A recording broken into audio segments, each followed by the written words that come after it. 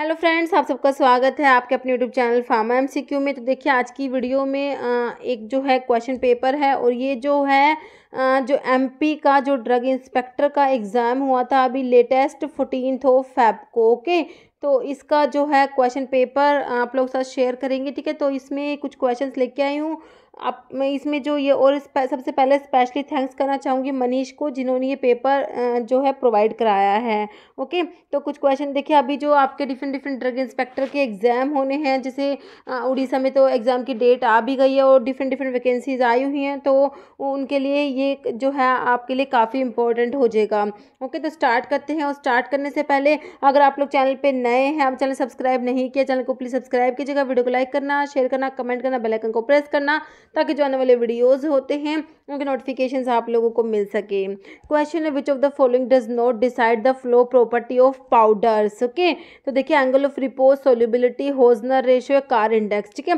तो flow property के लिए आप लोग एंगल ऑफ़ रिपोज पढ़ते हैं होजनर रेशियो भी होता है कार इंडेक्स भी होता है, लेकिन सोल्यूबिलिटी का इससे कोई रिलेशन नहीं है तो आपका आंसर जो है ऑप्शन बी सोल्यूबिलिटी हो जाएगा ओके क्वेश्चन आपका नेक्स्ट है which of the following does not affect the microbiological spoilage of a drug product देखिए dissociation property packaging of the product p H storage of the product तो इसका answer क्या हो जाएगा? तो बिल्कुल ये भी बिल्कुल सिंपल है ऑप्शन ए हो जाएगा डिसोसिएशन प्रॉपर्टी ओके नेक्स्ट है which immunoglobulin is the first one to be produce during an immune response तो प्राइमरी इम्यून रिस्पॉन्स के लिए कौन सी इम्यूनोग्लोबुलिन है? ठीक है तो ये पूछा है देखिए immunoglobulin M immunoglobulin G immunoglobulin A या ई e, ठीक है? तो इम्यूनोग्लोबुलिन के बारे में भी आपको सारा बताया हुआ है कौन सी किसके लिए रिस्पॉन्सिबल है? तो प्राइमरी इम्यून रिस्पॉन्स के लिए आपकी होती है ऑप्शन ए हो जाएगा इम्यूनोग्लोबुलिन इम्यूनोग्लोबुलिन एम हो जाएगा ओके?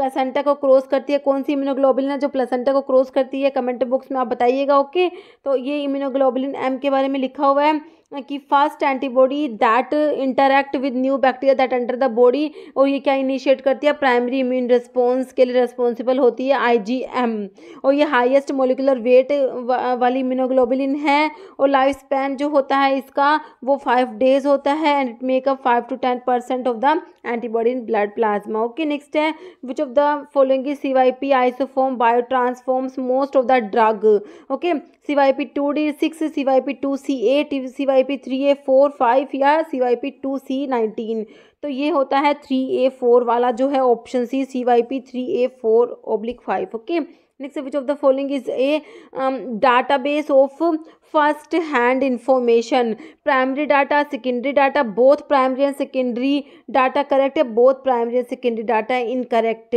okay तो ये जो है database of first hand information तो ये प्राइमरी डाटा हो जाएगा ऑप्शन जो है ए हो जाएगा प्राइमरी डाटा ठीक है? Primary data refers to the first hand data gathered by the researchers himself ठीक है? तो ये प्राइमरी डाटा होता है, इसमें आपका surveys observation experiments questionnaires personal interviews ये सब प्राइमरी डाटा में आ जाएगा। नेक्स्ट है पॉजिटिव एजेंट पूछा सिफिलिस का। देखिए, बहुत बार मैं आपसे कहती हूँ सिफिलिस का पॉजिटिव ऑर्गेनिज्म बहुत ज़्यादा एग्ज़ाम में पूछा हुआ है है ना? मैं आपको हमेशा याद करना बताती हूँ, सिफिलिस जो है एस में आती है, सेक्सुअली ट्रांसमिटेड डिज़ीज़ में आता है और इसका जो कोस्टिव ऑर्गेनिज्म है, हम एसटीपी से याद करते हैं, कौन सा?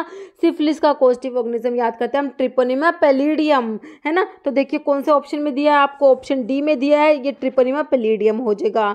नेक्स्ट है rate at which light enter through object in phase contrast microscopy is option देख लीजिए constant inversely proportional to the reflective index directly proportional to the reflective index या exponentially inversely related to their reflective index तो ये हो जाएगा आपका answer इसका option भी इनवर्सली प्रोपोर्शन होता है to their reflective indices next है what is the correct sequence of steps involve in the herbal drug production. तो करेक्ट सीक्वेंस ऑफ़ स्टेप्स आपने बताना है, ये ऑप्शंस देख लीजिए आप लोग। तो सबसे पहले क्या होता है, मेरे हिसाब से ये आइडेंटिफिकेशन जो है, सबसे पहले होता है ओके तो आपका देखिए, इसका आंसर है ऑप्शन जो है, देखिए डी हो जाएगा ओके तो आप देख लीजिए इसका आइडेंटिफिकेशन फिर authentication cultivation collection and processing okay next है enzyme activity in biological system में भी अफेक्टेड बाय द फॉलोइंग देखिए negative modifiers change in enzymatic concentration all of the given option change in pH तो देखिए, सारे के सारे ऑप्शन जो है अफेक्ट करेंगे तो आपका आंसर ऑप्शन सी हो जाएगा all of the given option okay next है resolving power of microscope depend on all except देखिए रिजॉल्विंग पावर माइक्रोस्कोप की किसके ऊपर डिपेंड करती है? इनमें से एक फैक्टर को छोड़कर सभी पर डिपेंड करेगी। एक्सेप्ट पूछा है तो बताइए। Refractive index of medium wavelength diameter of aperture है focal length of objective lens तो ये आंसर हो जाएगा option D focal length of objective lens next है what are factor on which disinfectivity of disinfectant depend किस पर depend करती है बताइए? All of the given options दिया एक तो ऑप्शंस में। बाकी concentration of substance pH of the medium and temperature suitable for the chemical time of action तो आपका आंसर हो जाएगा सारे के सारे ऑप्शन हैं जो all of the given option next है what is the category of patella bone that is present in knee जो नी में जो प्रेजेंट होती है पटेला बोन है ना? जिसको क्या बोलते हैं? नी कैप भी बोलते हैं ना? तो ये पटेला बोन है। तो क्या, कह रहे कैटेगरी कौन सी है? इसकी फ्लैट बोन है, एक्सटेंडेड बोन है न्यूमेटिक बोन है, सिस्मोइड बोन है। तो ये आपका सिस्मोइड बोन में आता है। ऑप्शन जो है आपका डी राइट हो जाएगा, सिस्मोइड बोन। ये भी क्वेश्चन कराया हुआ है काफ़ी बार चैनल पे। सिस्मोइड बोन और बोन, ये बोन जो होती है टेंडन्स में एम्बिडेड होती है। These are small round bones are commonly found in the tendons of hand knees and feet okay sesamoid bone function to protect tendons from stress and wear से protect करती है। Patella जो है commonly refer to as knee cap ये example होता है sesamoid bone का।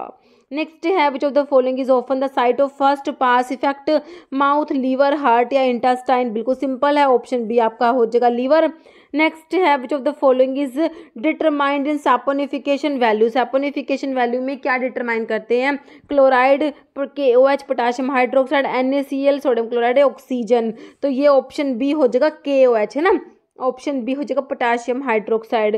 देखिए सैपोनिफिकेशन वैल्यू या सैपोनिफिकेशन नंबर क्या रिप्रेजेंट करता है? Number of milligram of potassium hydroxide के या sodium hydroxide NH required to saponify one gram of fat in the condition specified okay next है fill in the blank with the correct option तो आपको ये जो है फिल इन द ब्लैंक में बताना है कौन सा ऑप्शन आएगा। देखिए zeta potential determination is a significant characterization technique of nano crystals employed for understanding the dash stability of nano suspension देखिए इनऑर्गेनिक फ़िज़िकल केमिकल या ऑर्गेनिक तो ये फ़िज़िकल स्टेबिलिटी हो जाएगा ऑप्शन बी नेक्स्ट है what is the role of sodium sulphite in parental formulation में जो sodium sulphite का क्या रोल होता है? है ना? तो ये बताना है, देखिए ये यूज़र्स को solvent user chelator emulsifying agent या एंटीऑक्सीडेंट तो मेरे हिसाब से भी सभी को पता है कि एंटीऑक्सीडेंट होता है, ये ऑप्शन डी राइट हो जाएगा। नेक्स्ट है which of the following is not an anti motilated drug देखिए एंटी मोटिलेटेड ड्रग में एक तो आपका लोपिरामाइड आता है है ना? लोपिरामाइड देखिए ऑप्शन देखिए लोपिरामाइड दिया है आपको। इसमें कोडिन भी आता है डाइफिनॉक्सीलेट भी आता है, लेकिन ये सब गोल नहीं आता, जो आपका ऑप्शन बी बिल्कुल राइट हो जाएगा ओके ये भी सिंपल ये क्लासिफिकेशन से क्वेश्चन है। नेक्स्ट है pisiform bone is found in which of the following joint तो पीसीफॉर्म बोन जो है, कौन से ज्वाइंट में प्रेजेंट है? Wrist joint shoulder joint sternoclavicular या एंकल ज्वाइंट तो ये आपका हो जाएगा रिस्ट ज्वाइंट में ये पीसीफॉर्म जो बोन है, ये प्रेजेंट होता है ओके देखिए pisiform bone is a small knobbly sesamoid bone होती है that is found the wrist wrist में प्रेजेंट होती है ओके नेक्स्ट है which of the following does not increase digoxin की टॉक्सिसिटी को इनमें से कौन सा इंक्रीज नहीं करता? देखिए रीनल एम्पेयर इम्पेयरमेंट है हाइपर कैल्सीमिया हाइपोमैग्नीसीमिया या हाइपर कैलीमिया तो आपका आंसर जगह ऑप्शन डी हाइपर कैलीमिया से जो है टॉक्सिसिटी इंक्रीज नहीं होती ओके हाइपोकैलीमिया से होती है। नेक्स्ट क्वेश्चन है which drug is used for treatment of sickled cell anemia के लिए कौन सी ड्रग यूज़ करेंगे? Paclitaxel carboplatin cisplatin hydroxyurea answer is of this question is option D hydroxyurea okay next question जिसका आंसर आप लोग comment box में देंगे। आपके लिए क्वेश्चन है which of the following are phase two metabolic reaction है ना फ़ेज़ वन रिएक्शन होती है फ़ेज़ टू होती है। तो रिडक्शन एसिटाइलेशन हाइड्रोलिसिस ऑक्सीडेशन तो आपको इसका आंसर कमेंट बॉक्स में देना है। बाकी के क्वेश्चन हम नेक्स्ट वीडियो में डिस्कस करेंगे। इस वीडियो में इतना ही। अगर आपको वीडियो अच्छी लगे तो लाइक करना शेयर करना। चैनल पर नए हैं तो मेरे आप लोगों से रिक्वेस्ट है कि चैनल को प्लीज़ सब्सक्राइब ज़रूर करना। Okay thank you